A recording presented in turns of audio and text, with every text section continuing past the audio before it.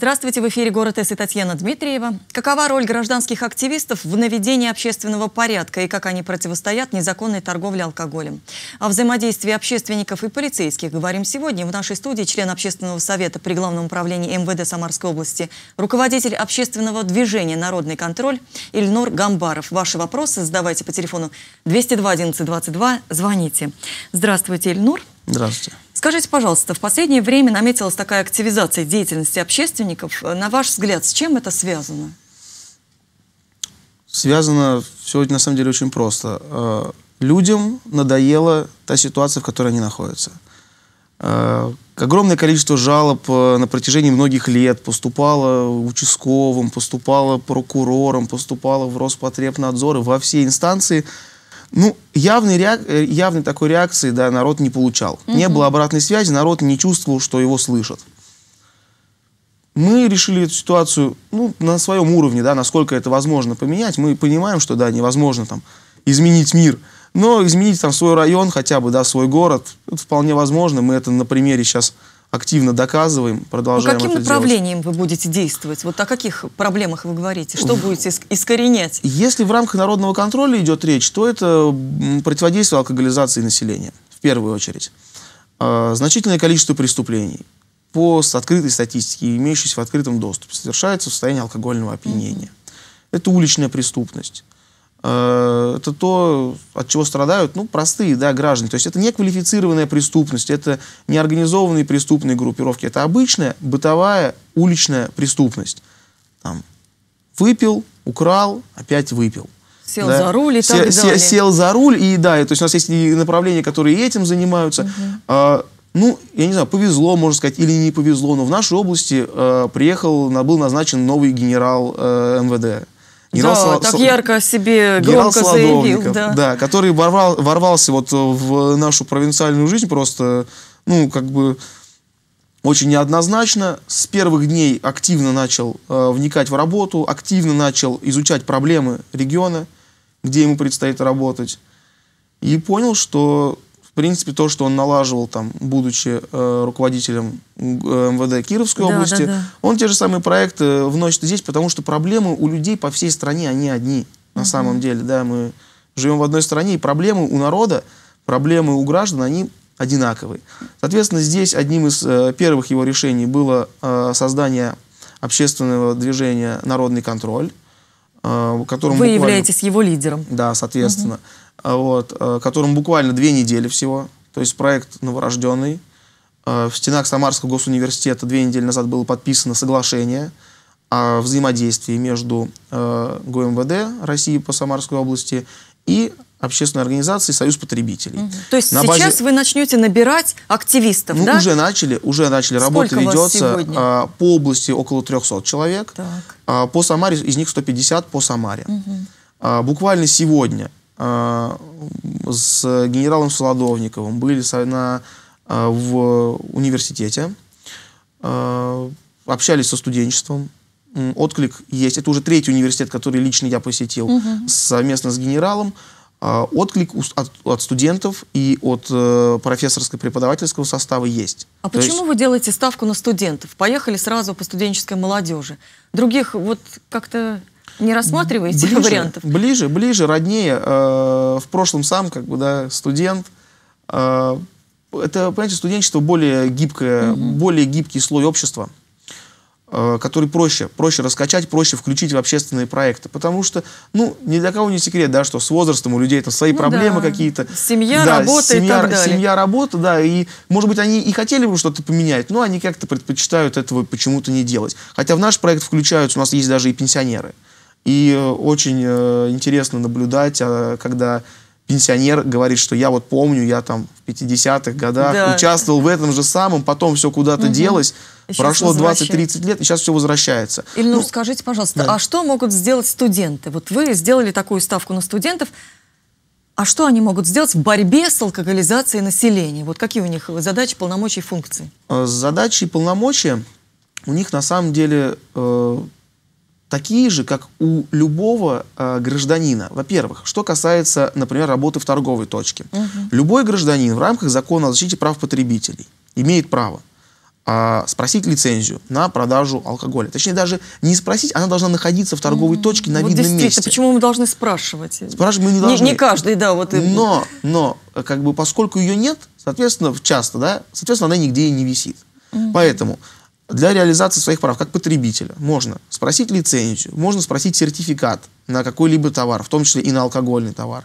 Можно изучить этот товар визуально, потому что э, есть э, часть товаров, например, ввезенных в Россию незаконно из соседних республик, алкогольной продукции в том числе, ввоз который запрещен, угу. он реализации не подлежит.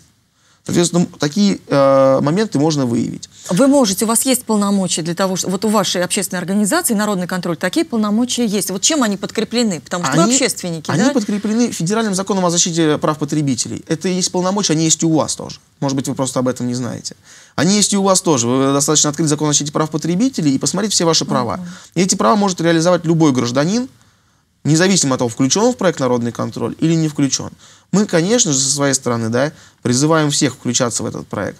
Но как бы, информацию, которую нам предоставляют общественники, информация, которую нам предоставляют студенты, она во многом очень полезна и является основой для нашей работы. Угу. А в процессуальном плане активистов народного контроля а, прими, а, их используют в качестве очевидцев правонарушения административного, в качестве заявителей в некоторых случаях в качестве понятых. Угу. Это абсолютно законно, ну, на мой взгляд, да, э, считаю эту позицию законной, потому что какой-либо заинтересованности или каких-то или каких-либо служебных отношений между сотрудниками МВД и активистами народного контроля их просто нет. Угу. Поэтому нельзя считать, что активисты народного контроля будут заинтересованы там, в статистических показателях или там, в каких-то иных там, показателях работы МВД. Это просто э, их желание, это их мнение, но это, в конце концов, их право объединиться для защиты своего города, для того, чтобы свой город сделать лучше. А чем будет э, компенсироваться все-таки вот это желание сделать свой город лучше? Предусмотрены какие-то компенсации, кроме моральных, так скажем, вот ну, морального удовлетворения, что вот я тут приостановил незаконную продажу вопрос, алкоголя? Вопрос понятен. А, да, предусмотрено. А, в настоящий момент генералом Солодовниковым значит, изучается вопрос о том, чтобы э, премировать, э, вознаграждать да, сотрудников общественных организаций угу. в размере от 150 до 200 рублей в час. В принципе, это довольно-таки нормальный, нормальный стимул в плане э, материального. Кроме того, все э, активисты обще, общественных организаций, не только Народный контроль, но и Ночного патруля, и Добровольной народной дружины, э, пройдут обучение на базе учебного центра МВД. Обучение, оно несложное, это буквально, то есть сейчас э, разрабатывается формат, я думаю, это будет один-два дня. Угу. Это основа законодательства, это основа общения с гражданами, просто чтобы люди понимали, да, кто они, в каком они статусе и для чего они вообще туда идут. Также каждый сотрудник общественной, общественных организаций будет застрахован. Его жизнь ага, и здоровье будут важно. застрахованы а, на уровне МВД, угу. так как ну, естественно, это деятельность общественная, и никто не ждет от общественников, что они там будут э, как-то на переднем плане там, борьбы с преступностью. Это, в конце концов, не их задача. Они угу. платят налоги, и для этого есть полиция. Но, тем не менее, бывает всякое, это жизнь. И жизнь и здоровье мы Конечно. предпочитаем, чтобы наших активистов были застрахованы. Угу. В а случае. в каких масштабах вы будете дел, э, действовать, в каких территориях?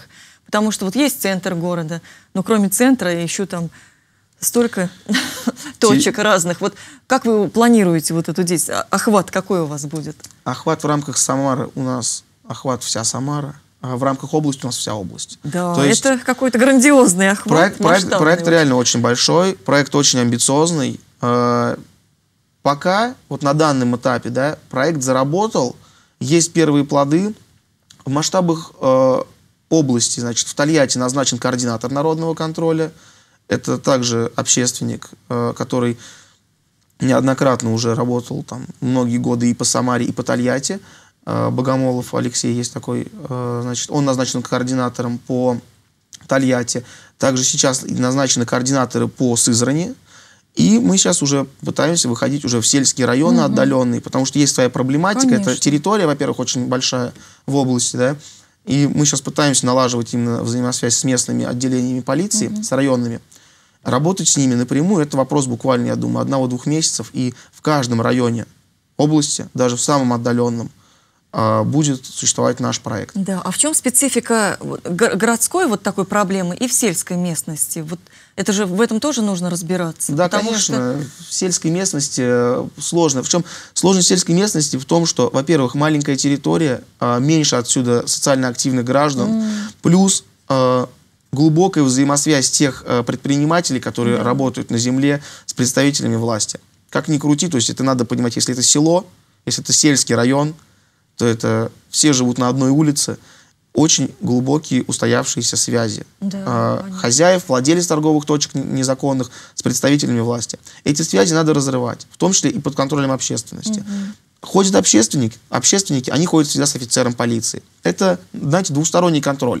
С одной стороны, полиция гарантирует законность действий общественников, что они не выйдут за рамки своих полномочий. Да. С другой стороны, общественник контролирует, контролирует полицию. Полицейского, правильно. Чтобы, чтобы исключить э, коррупционные проявления, угу. чтобы исключить э, проявление э, какого-то некорректного, нетактичного обращения с угу. гражданами. Это двусторонний контроль. Да, вот это и эта важно. система сдержек и противовесов, она нормально работает, и я думаю, в конечном итоге даст свои плоды. Угу. Скажите, пожалуйста, вот инициатива генерала Сергея Солодовникова, о котором вы уже упомянули, что он предлагает запретить торговлю спиртных напитков, напитков после 17 часов. Вот как вы к этому относитесь? Потому что, я, мне кажется, это не такая популярная мера. Я резко положительно отношусь, я да? как бы не пьющий.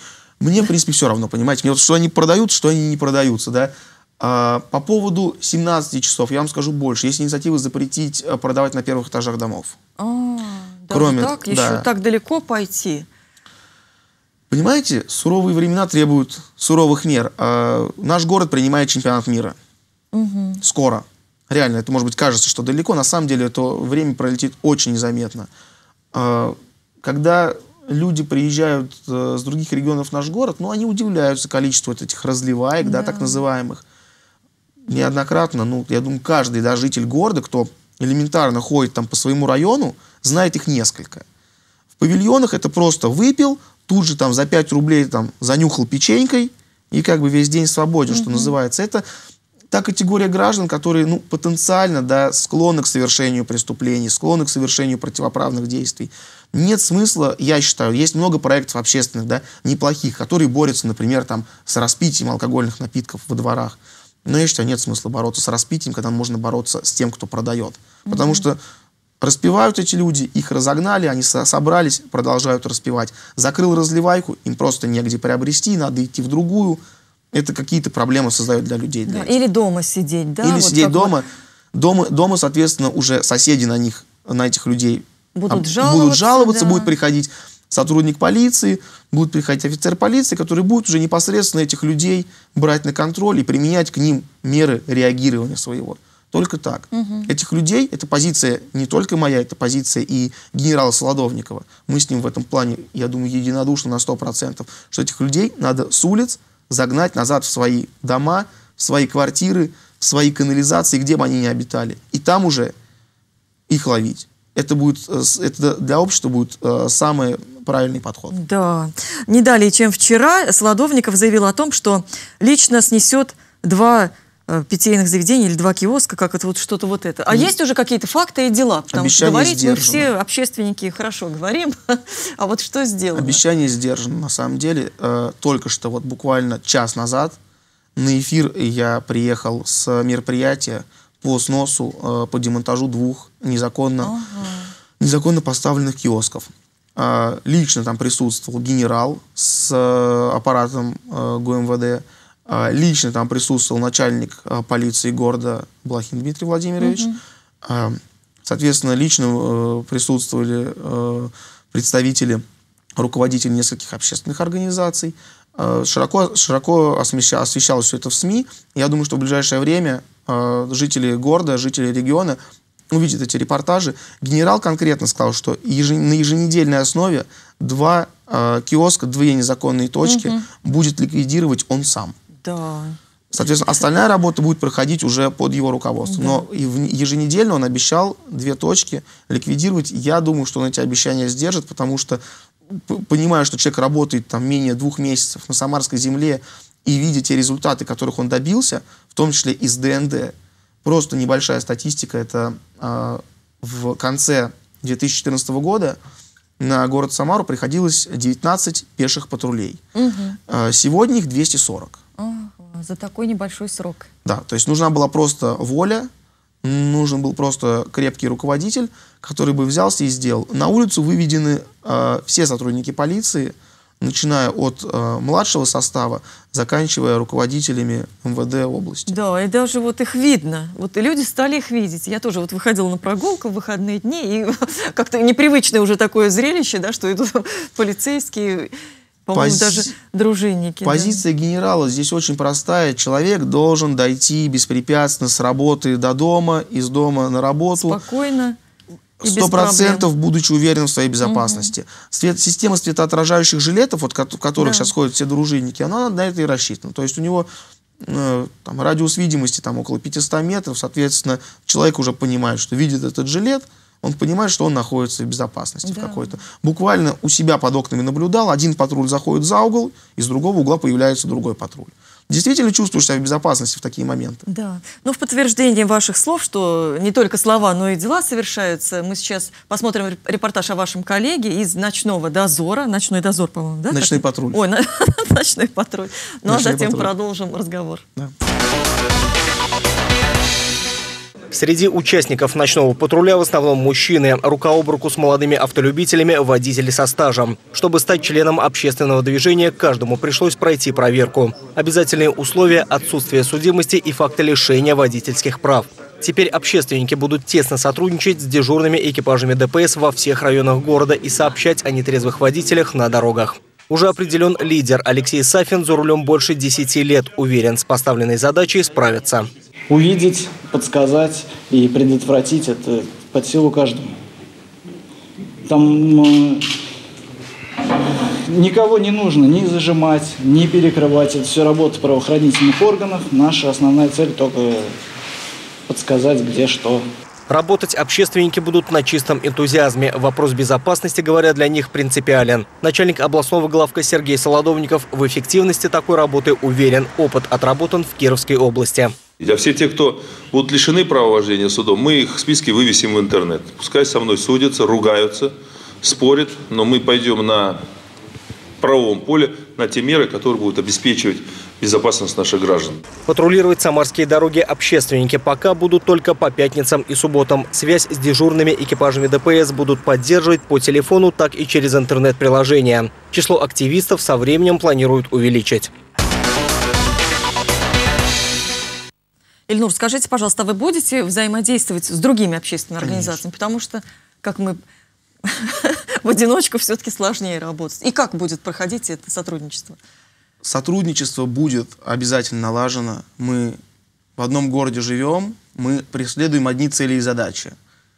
Мы друг другу не конкуренты, мы делаем одно дело. Взаимодействие будет очень плотное. Вот в данный момент есть уже э, ряд э, людей, это члены Общественного совета ГУВД, которые изъявили желание всячески содействовать вот этому проекту, вообще всем по общественным угу. проектам. Конкретно сейчас э, из нововведений планируется э, разработка приложения для социальных сетей, для мобильных устройств. Э, в котором каждый гражданин может отметить э, незаконную разливайку. Ну, вот эти вот э, те точки, которые, да, вот, понятно, в которых собираются вот эти ну, вот... То есть э, это будет сайт, да? Это Определ... будет сайт, Просто. это будет либо приложение, угу. то есть это сейчас вот мы как раз э, с техниками с нашими этот вопрос проговариваем, на базе каких-то там э, карт, Яндекс карты, там Google Maps, это раз, различные есть приложения технические, будут э, такой, такая возможность у каждого гражданина, во-первых, отметить э, незаконную точку, которая реализу, реализует алкоголь. По э, факту значит, э, того, что эти точки отмечают, туда будут направлены представители народного контроля с офицерами полиции, которые примут меры к изъятию незаконного алкоголя, если он там есть, если сообщение подтвердится. Угу. Но это еще полбеды, потому что практика говорит о том, что как только полиция уходит, торговля начинается заново. Поэтому в этом приложении будут формироваться маршруты э, народного контроля э, и добровольно-народной дружины, которые будут проходить через эти точки. Угу. Таким образом, мы обеспечим постоянный контроль за тем, чтобы эта точка либо не работала, либо не реализовывала ту продукцию, которую она не имеет права реализовывать. Таким образом, мы вот избавимся от того, что как только полиция уходит, все остается да. по-прежнему, и мы сможем систематически в режиме онлайн контролировать исполнение законодательства. Если пришел, пришла добровольная дружина и обнаружила, что точка функционирует, они также в этой сети, в этом приложении делают отметку о том, что точка работает. И туда повторно высылаются наряды. И таким образом до э, тех пор, пока точка это не будет работать э, да, в правом но это поле. уже нацеленность на эффективность, действительно. Не просто поставила кучу флажков, как у нас много вот этих да, нелегальных там питейных заведений. У вас еще и, не- э, и наглядная агитация, да? Вот вы, это что такое? знаете, Такое ощущение, что мы возвращаемся в далеко забытый уже старый, потому что вот можете зрителям Не продемонстрировать не исключено, даже знаете, не вот исключено, что мы куда-то возвращаемся, да, то есть э, вот... э, Лицо рабочего. Лицо явно. рабочего. Это, Так. э, как мне пояснили э, дизайнеры вот этого макета, этот э, рабочий взят э, с плаката 40-х годов. Даже так. Да, э, 40-х годов э, плакат э, как раз посвящен противодействию алкоголизации населения. Интересно наблюдать за реакцией старшего поколения, которые все это помнят, которые все это видели. И они сейчас понимают, что все возвращается, то есть э, в свое время это все было отменено, все это было как-то разрушено, и пытались создать что-то новое. Да. При этом проигнорировав те положить, тот положительный опыт, который был в то время, а он реально был, отрицать его нельзя. Вот этот явно пример положительного опыта, потому что э, людям нравится, начиная от визуальных каких-то моментов, да, заканчивая той деятельностью, которая ведется, мы ее широко освещаем. Люди активно включаются. У нас есть приложение в социальных сетях, например, ВКонтакте. У нас там буквально там за два дня мы через, это, э, через эту группу набрали сотню активистов по Самаре. Буквально за два дня. То есть это абсолютно реальные люди, там, да, которые пишут, которые хотят работать, которые готовы пожертвовать своим личным временем для того, чтобы ну, улучшить ситуацию в городе. Отклик есть. Просто длительное время э, власти не слышали людей. Понятно. Сейчас ситуация меняется. Понятно. Это Хочу хорошо. обратиться к нашим уважаемым телезрителям и задать еще раз вопрос. Верите ли вы в эффективность работы общественников, дружинников, народного контроля и ночного Патруля. да, патруля? И первый вопрос уже пришел. Сообщение. На каждой остановке табачные киоски, в них продают спиртные шкалики. Как можно их запретить? Их продавать, Анна Сергеевна сообщает. И вообще хочется, чтобы табачных киосков было меньше. Вот уже на табачные киоски тоже такой глаз Анна Сергеевна положила, тоже они ее смущают. Вопрос понятен, он действительно важный. А, В каждой, по сути, да, в каждой табачке, так называемой, реализуют вот шкалики, это, как я понимаю, имеется, знаете, там, кто как называет, фанфурики, Да, да, да, то есть это а, настойки Небольшие. небольшие, небольшие там 25, там 30, милли- э, ми- 30 миллилитров с спиртосодержащей жидкостью. А, Конкретно, да, то есть в данный момент а, принимается ряд законопроектов, запрещающих э, реализацию вот э, этих э, спиртосодержащих продуктов вне аптечных сетей и без рецепта, потому что многие аптеки тоже реализуют ее, то есть реализацию без рецепта. А, Кроме того, вот э, в том году, в октябре месяце, при поддержке депутата Хинштейна а, было проведено мероприятие, также нацеленное на то, чтобы привлечь внимание людей к, вот, к данной проблеме, как к проблеме алкоголизации населения. Это мероприятие прошло с участием, по сути, всех руководителей всех ведомств, в том числе и правоохранительных Самарской области.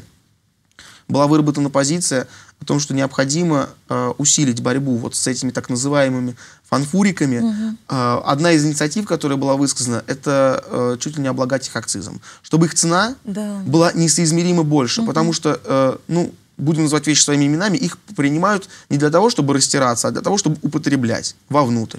Потому что их там разводят в определенной пропорции, получают дешевые, дешевое вот это пойло, да, извините, по факту. Соответственно, э, наценка на эту продукцию, то есть если ее цена будет равна бутылке водки, э, станет нецелесообразно ее приобретать. Да, да, да, По да, это будет решением. По да. последним исследованиям да, ваших коллег-журналистов в открытом доступе есть, э, в день в одной табачке около 400 э, баночек продается. Это колоссальное количество. Если перемножить на количество табачных ларьков, мы получим тысячи, десятки тысяч э, реализованных э, бутыльков. Следующий вопрос личного характера. Прочитал в интернете, что вы родственник Кадырова. Так ли это? Вот видите, вы становитесь тоже популярной личностью, про вас читают в интернете. Отвечу, наверное, словами Владимира Владимировича Путина. э, без сплетен жизнь будет скучной и неинтересной. Нет, родственником Рамзана, Рамзана Ахмадовича я не являюсь. Его позицию по поводу противодействия алкоголизации населения разделяю, потому что, ну, А у него жесткая позиция? Я да, вот, есть в, интернете, есть в интернете много роликов, как он собирает продавцов, собирает руководителей и проводит с ними довольно-таки жесткие разъяснительные беседы в духе, ну как принято это в северокавказских республиках. Вот. оценивать лично его деятельность я не беру. Ну, раз президент устраивает, значит, как бы свои задачи, функции выполняет. Вот родственником не являюсь. Да. Еще один личный вопрос от меня. А, из каких соображений лично вы занимаетесь вот такой общественной деятельностью? У вас есть работа, вы Да. адвокат, да? Да. Практикующий. И вот э, тут такая нагрузка. Не нагрузка. Это, во-первых, это интересно. Во-вторых, считаю, что есть энергия, есть э, определенные потребности общества в этом. Сам живу в этом городе. Имею ребеночка, да, который также ходит по улицам, также видит все это. Есть э, определенный спрос в обществе на вот э, такую работу. Общество этого хочет. Народ э, хочет э, вот э, наладить э, вот этот диалог, во-первых, с властью. Народ хочет э, убрать эти разливайки. Реально хочет. То есть, э, конечно, мы сталкиваемся и с негативными отзывами о нашей работе, да, о том, что там, вот вы там занимаетесь там ерундой, вы это никогда не победите, там это невозможно. Но, опять же, да, если каждый из нас будет критиковать, ну, пускай кто, каждый, кто критикует, выйдет и попробует что-то сделать. Это интересно, это нужно городу, и это в итоге нужно каждому нормальному жителю города Самары. И я думаю, что ну, тут мало кто сможет со мной не согласиться по этому поводу. А Следующая реплика от Сергея. На даче от фанфуриков умирают люди. Их нужно совсем запретить производить. Вот как вы относитесь к такому предложению? Производство, за- запрет производства. Понимаете, запреты производства это, наверное, больше прерогатива правительства Российской Федерации. А дело в том, что вот эти фанфурики, так называемые, они производятся для вполне медицинских там целей. Это э, там, для наружного применения, для там, того, чтобы что-то да, там, растирать, там, да, там, может, бабушкам, у которых там какие-то там недуги есть, может быть, они и И помогают. по цене они подходят для бабушек, вот для, и для по цене они подходят. да. Но, как бы, понимаете, у нас э, народ очень предприимчивый э, и понимает, что вот э, есть вот такой момент, что можно приобрести, можно употребить. То есть, опять же, контроль э, в плане, что реализации по рецепту, я думаю, это нормальная позиция. Если бабушке нужен препарат, она получает рецепт и по рецепту его приобретает. Да. Вот это, наверное, самая оптимальная позиция, но эта позиция невыгодна производителям, потому что их э, обороты упадут там, в десятки, в сотни, может быть, в тысячи раз. Потому что если посмотреть, сколько из них приобретается для применения наружного, а сколько там в пищу да, употреблять, ну это, конечно, разница будет колоссальная. Вы как общественник можете констатировать, что сегодня гражданская активность возрастает, да, вот на примере даже вот деятельности ваших организаций, да? Скажите, пожалуйста, как жителям города можно проявить свою гражданскую активность? Вот в чем? Потому что мы все как-то вот хочется нам, чтобы было лучше, а что делать, мы не знаем. Вот мы только ходим, говорим, как у нас тут грязно, как у нас тут все пьют, курят, и, ну и все негативные моменты. А вот что нужно делать? Просто вот горожанам. Ну, знаете, я С чего сказать, начинать, может быть? Я могу посоветовать просто вариант для ленивых, да, что называется. Это зайти в нашу группу ВКонтакте и просто сообщить о какой-нибудь точке, оставить свои какие-то данные, чтобы мы могли потом перед этим гражданином как-то отчитаться о проделанной работе. Потому что это тоже важный момент. Да. Обратная связь. То есть люди пишут, если они, они не получают назад какой-то обратной связи, какого-то отчета, они могут сказать, что ну ничего не делалось. Соответственно, мы призываем, есть ли вариант для ленивых, зайти на, наш, на нашу группу, в нашу группу в социальных сетях, сообщить о разливайках, сообщить о каких-то э, противоправных действиях, там, да, реализация алкоголя несовершеннолетним, там, реализация алкоголя без лицензии. Сообщить об этом.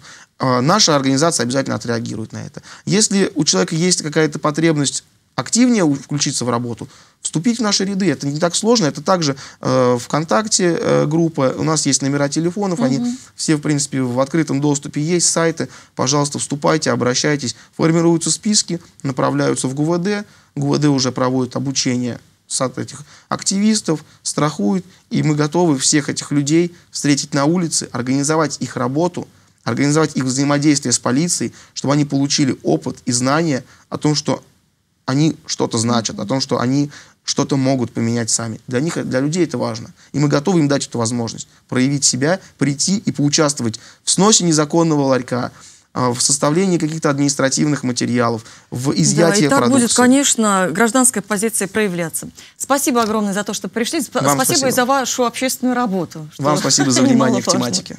До свидания. Всего Всего хорошего. До свидания. До свидания.